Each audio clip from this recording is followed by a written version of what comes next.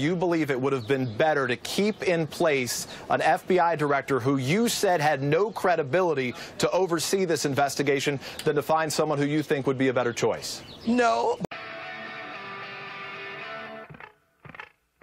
Under the direction of a wonderful uh, and tough career public servant, Jim Comey. It will go down as probably the lowest moment in the history of the FBI. And now the president has fired the director of the FBI. President took this action because he feels the noose tightening in the Russia investigation. When I heard about it, I, I, I found it hard to believe that Comey, who I thought had some degree of integrity, would do this. I told the president, Mr. President, with all due respect, you are making a big mistake. Director Comey first. This is a great man. We are very privileged in our country to have him uh, be the director of the FBI. I believe that the Comey letter was a, a foul deed.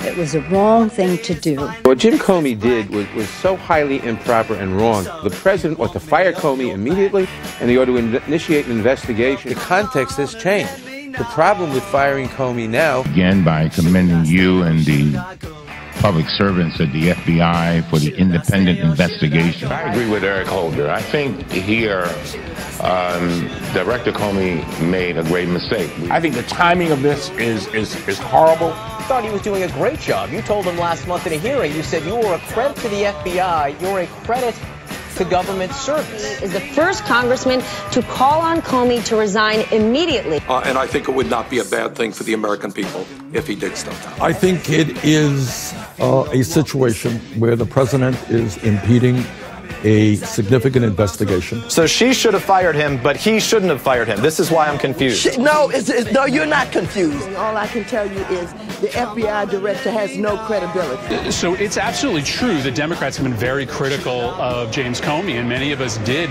call for his resignation.